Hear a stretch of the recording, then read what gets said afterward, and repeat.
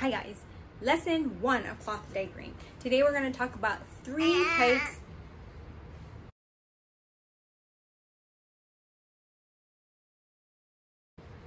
three types of cloth diapers. There's many different types of cloth diapers, but I just wanted to present three basic options um, and tell you which ones we decided to use with Mamo and why. Um, so the basics of cloth diapering is, is actually a really simple system. The first type of diaper we're going to talk about are um, pockets and some kind of absorbent in, inside or insert.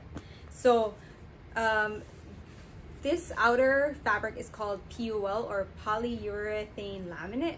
Um, and so through a thermally heated process, um, a plastic covering is thermally binded to this outside part here. So this part kind of feels like um, board shorts if you have any like swim shorts. And the inside feels like um, plastic. So this is the waterproof side that will keep in all of the of baby's messes. So the way a cover system works is that you have this cover here um, and then you put some kind of absorbent in, insert into the cover. So you would put it in just like this. This is um, cotton and hemp.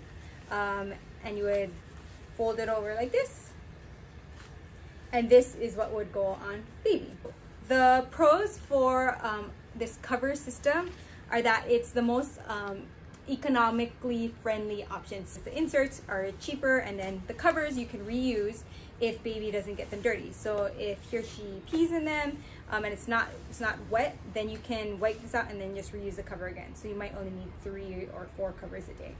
Um, it's really easy to clean because the outer and the inner comes apart during the wash um, and so they get really clean.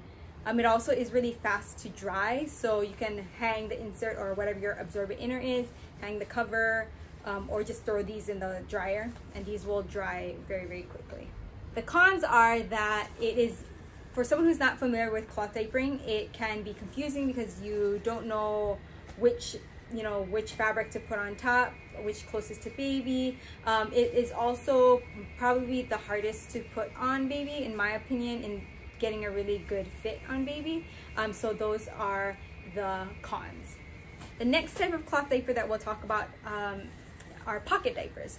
So pocket diapers similar to the covers they have this outer um, shell that inside is waterproof. It has a plastic here um, but instead of laying the absorbent inner on top, there's a pocket on the diaper. So um, there's openings here. Thirsties has, um, which is a brand, Thirsties has an opening here on the front and opening on the back.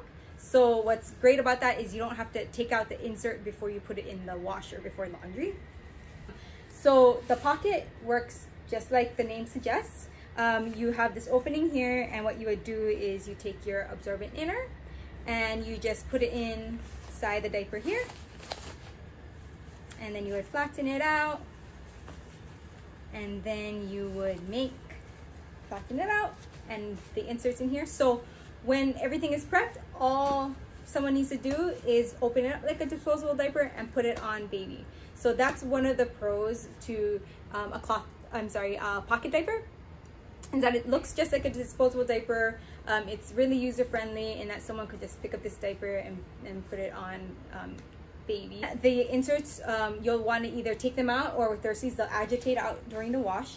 Um, and the pro for this too is it gets really clean in the wash. Um, and then also, just like the covers, you can, you know, hang dry these and put these in the dryer. So, or hang dry both so that they have a really um, fast drying time. If you're also cleaning uh, poop off the pocket because there's only one surface here, um, it's really easy to clean as well.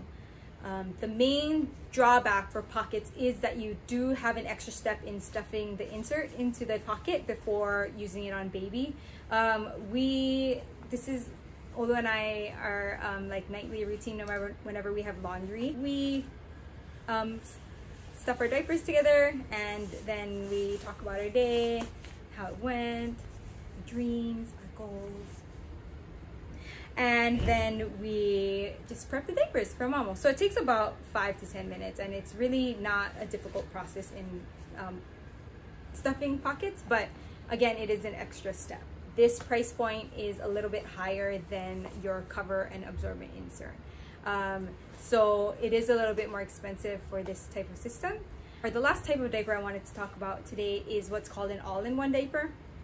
So this all-in-one uh, diaper is just as the name suggests, everything that you need to diaper a baby is all in one. So here, the absorbent inner, um, these these these things here, um, they're sewed into the diaper. So anytime you're washing or drying the diaper, it will just go in the washer like this and we take it out it will be of the dryer. It's ready to go back on baby.